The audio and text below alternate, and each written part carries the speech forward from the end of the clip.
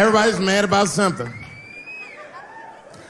Recently, I got attacked online by some gay bloggers, and it hurt my feelings. I have no problem with gay people, but I fucking hate bloggers.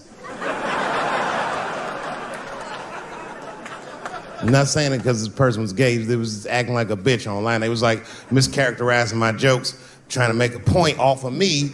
When it's really, it's like, yo, I'm your ally, motherfucker. I'm not trying to stop gay people. I got better shit to do. This motherfucker was saying things to try to get gay people to beat me up. Seriously, he was like, Dave Chappelle's jokes. I don't know how he actually talks, I'm just making his voice up. Dave Chappelle's jokes were an affront to the manhood of all gay men. What the fuck does that mean? I didn't say anything that would allude to gay men not being men. I know you men. In fact, what could be manlier than fucking another guy in the ass? It's the most gangster shit I've ever heard of in my life. I told you I'm not cut out for that. I'm a pussy. You know what I said? That's all I said. First of all, I'll tell you right now what I said. Uh, and I will tell you that this was not a joke. It's a true story. And I just happened to tell it. All right, what happened was I went to a gallery party. All right? I don't know who in here has ever been rich before, but these are very nice parties. Uh, you know, wine and cheese and ball of conversation. And there was a few eccentric types, one of which was a very wealthy man that happened to be wearing a dress. I don't know what you call him, man. This is a tranny or dra- drag queen, perhaps. Whatever it was, this is definitely a man.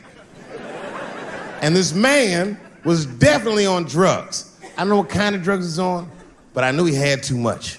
He didn't look good. It's like this. He's like, ah, he looked sick. And all his friends were standing around him, concerned, trying to revive him. I don't know whether it looked like some kind of gay CPR. Was fanning and shit.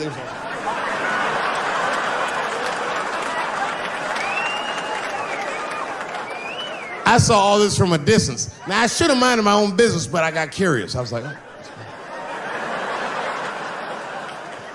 And I went over there. All I said, I said, excuse me, gentlemen, gentlemen, is he okay? And then they looked at me like I was evil.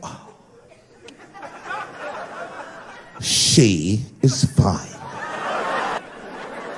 I'm sorry, I didn't know this is what we were doing. Um, here's my thing. I would support anybody's right to be whoever they feel like they are inside. I'm your ally in that. However, my question is to what degree do I have to participate in your self image? Is it fair that I have to change my whole pronoun game up for this motherfucker? That didn't make sense. Seriously. If I put on an Argyle sweater and I'm like, hey, everybody, I feel like a white guy in this sweater and I want some goddamn respect and a bank loan, that's not gonna work. Give a fuck how I feel. Why should I give a fuck how you feel? Nigger is a pronoun. But there was no time for philosophical debate. This was an emergency situation. I said, fine. Sorry, guys. I was just worried because because she looks terrible. And she just fell off the bench appears that her dick is popping out of her dress. You mind if I call an ambulance, champ? I'd rather not be at a party where a tranny ODs. There's too many questions to answer.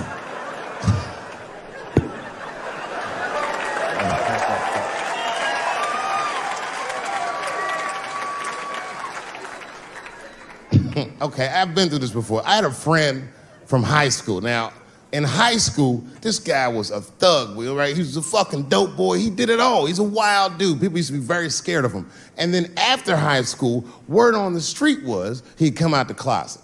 I personally didn't believe it. I bring him up because last year, he calls me out of the blue, like, yo, what's up, man? I got your number from so and so, and I heard you're gonna be in New York doing a show. Could I get some tickets? I was like, fuck yeah, get some tickets, man. How you been? He said, well, we'll catch up at the show, man. But yo, I, I appreciate. It. I'll see you soon. I said, all right, man, take care. And I was about to hang up, and I couldn't resist. I was just like, hey, nigga, I heard you was gay. What's going on with that?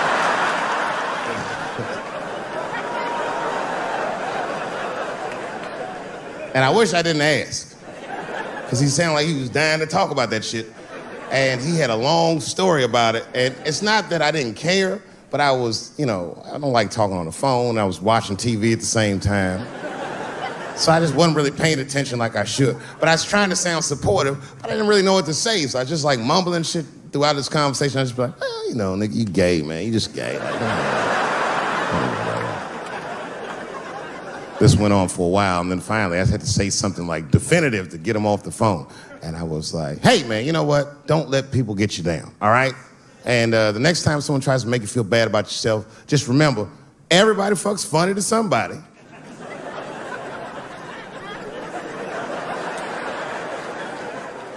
He didn't like that shit. He's like, what the fuck does that mean? I said, huh? He said, you saying I fuck funny, motherfucker? I said, no, that's not what I'm saying. I'm saying everybody's different. He said, you ain't say different, nigga. You say it's, you say it funny. What's so fucking funny about the way I fuck? And I said, hey, man, I fuck feet.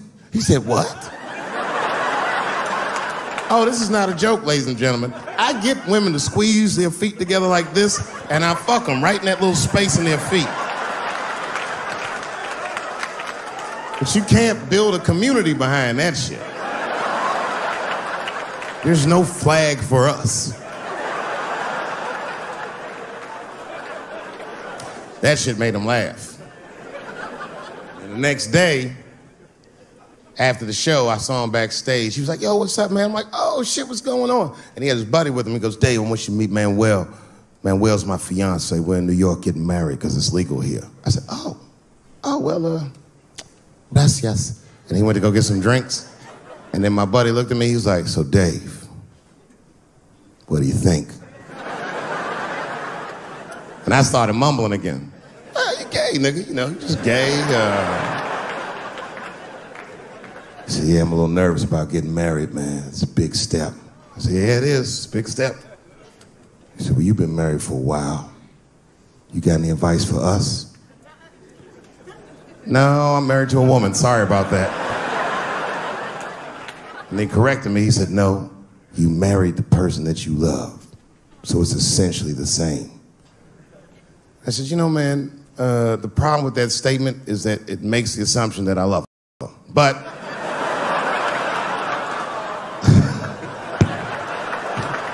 you guys lighten the fuck up. Of course, I love my wife. She laughs at this shit. As a matter of fact, she eats and spends this shit. You know what I told him? I told I told him I said, you know what you should do, man. First of all, you should you shouldn't do it. Uh, I'm talking about being legally married. It's not that you're gay as much as just legal marriage is a fucking diabolical leverage game in the United States. Uh, I'm just being honest. Devoid of religious significance or the idea of love, marriage is nothing but an awful contract that you shouldn't sign. I'm just being real. Because you start out loving each other, and then like two years later, you're just building a case against one another for a hypothetical court date that may or may not ever happen. You throw being gay on top of that, that shit is explosive. Like I said, Ray Rice shit. Okay, right after Ray Rice went through all that shit, I was at a party and I met this kid, Michael Samms. You know Michael Samms? Very nice guy. He's the first openly gay NFL player. And Mike's a very nice guy, very brave guy. But when I met him, I couldn't help but thinking, his wife up in the elevator. Is that domestic violence or is that just two niggas working shit out in the elevator? You know what I mean?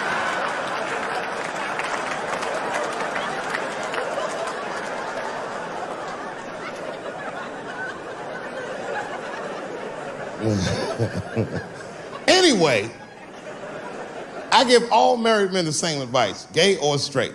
Get a dog. This dog will love you all the time, but she's not going to. It's real talk. I'm, I didn't even I didn't even know about dogs, and my kids got the dog. They brought him home from the shelter, and I didn't even want him. They're like, "Can we keep him?" I said, "Nope." I said, "Where'd you even get this dog?" They're like, "We got him from the shelter." I was like, "Ugh." Probably something wrong with him. Can't keep him. And then my kids started crying and screaming like the dog had gambling debts. Please, Dad, if you don't let us keep him, they're gonna kill him. I like, oh. All right, you can keep him. And this dog was a menace. I hated his guts.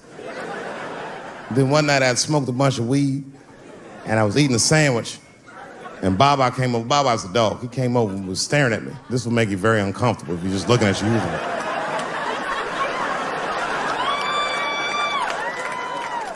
I had to give him a piece of my sandwich so he'd go away. And that's how we became friends.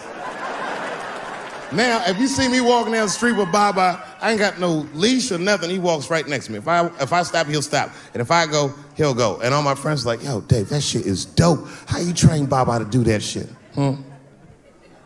I've never trained Baba. Just a messy eater. If I drop food and Baba's not around, all I gotta do is call him. Baba! He's a black dude's dog, so he doesn't come right away. He peeks first to see what's going on.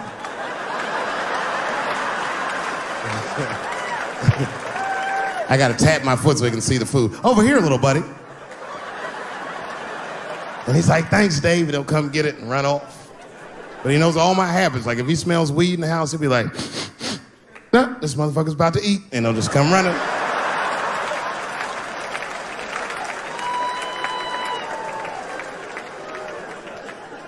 Baba got me through a very difficult time